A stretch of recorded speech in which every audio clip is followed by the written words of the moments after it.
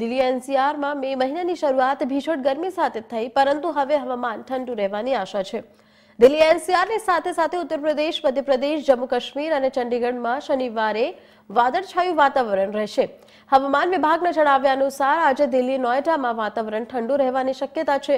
ત્રીસથી ચાલીસ કિલોમીટરની પ્રતિ કલાકની ઝડપે ધૂળની ડમરીઓ સાથે પવન ફૂંકાશે.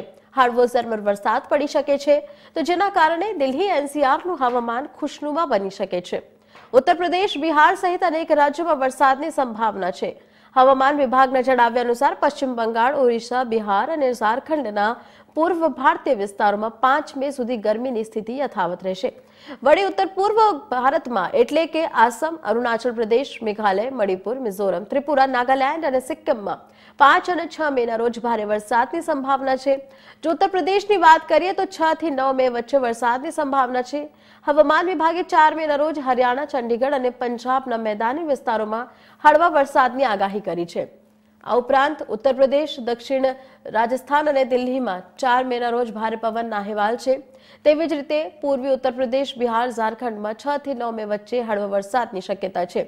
તમને જણાવી દઈએ કે ભારતના હવામાન વિભાગે આ સપ્તાહની શરૂઆતમાં જણાવ્યું હતું કે દક્ષિણ ભારતમાં એકસો ત્રેવીસ વર્ષમાં એપ્રિલમાં તેનું બીજું સૌથી વધુ મહત્તમ તાપમાન નોંધાયું.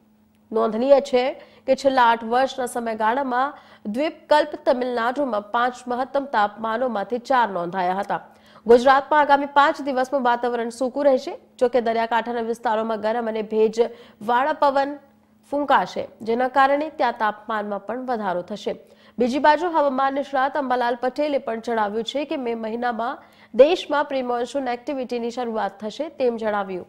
દસથી ચૌદ મેના રોજ આંધી, વંટોળ અને ભારે પવન સાથે પ્રી મોન્સૂન એક્ટિવિટી રહેવાની સંભાવનાઓ છે. અંબાલાલ પટેલે ગુજરાતમાં ગરમીનું પ્રમાણ મે મહિના દરમિયાન વધુ રહેવાની શક્યતા વ્યક્ત કરી છે. ગુજરાતના વિવિધ ભાગોમાં તાપમાનનો પારો ચાલીસને પાર જવાની સંભાવનાઓ વ્યક્ત કરવામાં આવી છે.